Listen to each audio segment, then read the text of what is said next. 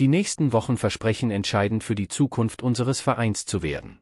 Wir verfolgen aufmerksam die Verhandlungen und mögliche Verstärkungen, die bei Borussia eintreffen könnten. Hier finden Sie alles, was Sie über die Hintergründe dieser Schritte wissen müssen. Ein weiterer Name, der in den Spekulationen immer stärker wird, ist der von David Affengruber, einem Innenverteidiger, der bei Sturm Graz herausragte. Der junge Spieler war maßgeblich am Gewinn der österreichischen Meisterschaft beteiligt, brach die Hegemonie von Red Bull Salzburg und erregte die Aufmerksamkeit mehrerer Vereine. Affengrubers Vertrag mit Sturm Graz endet im Juni, und obwohl der österreichische Klub eine Verlängerung wünscht, könnte das Interesse von Borussia Mönchengladbach die Entscheidung des Spielers belasten. Andreas Schicker, Grazer Sportdirektor, drängt auf eine schnelle Lösung.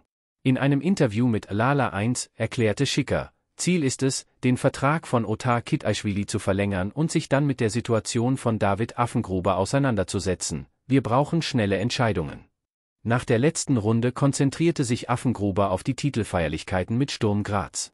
Während eines Interviews mit Sky wurde er von einer Bierdusche unterbrochen und betonte, dass sein unmittelbarer Fokus auf der Meisterparty liegen werde.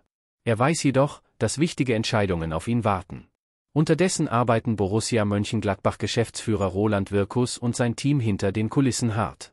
Ein Punkt, der die Verhandlungen belasten könnte, ist die Qualifikation für die Champions League, die sich Sturm Graz bereits gesichert hat. Auch ohne diese Vakanz bietet Borussia ein wettbewerbsfähiges Umfeld und hervorragende Wachstumschancen in der Bundesliga. Hinterlassen Sie Ihre Meinung in den Kommentaren unten und beteiligen Sie sich an dieser Diskussion. Bleiben Sie auf unserem Kanal auf dem Laufenden, um weitere Updates und exklusive Neuigkeiten über Borussia Mönchengladbach zu erhalten.